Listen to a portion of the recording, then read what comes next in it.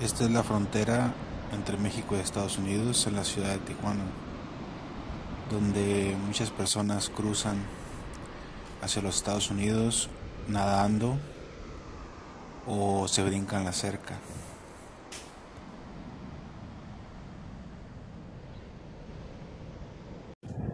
Como este hombre que se quitó todas sus ropas, las aventó al otro lado de la cerca y cruzó nadando.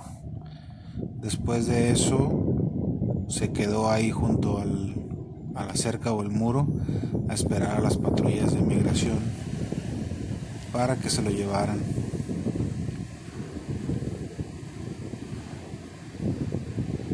Aquí se ve cómo se acerca a la migra, de la patrulla de inmigración, y cómo este le da indicaciones para que se vaya acercando poco a poco.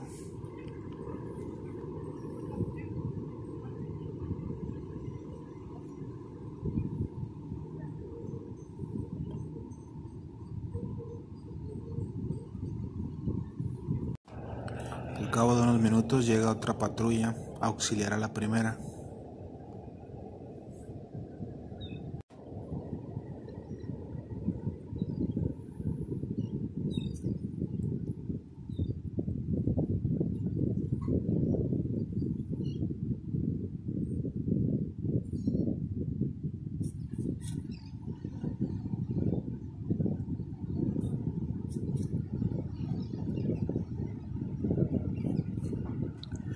Finalmente, sin esposarlo ni nada, los dos migras o patrullas fronterizas suben a la persona al vehículo donde va a ser retenido y seguramente deportado.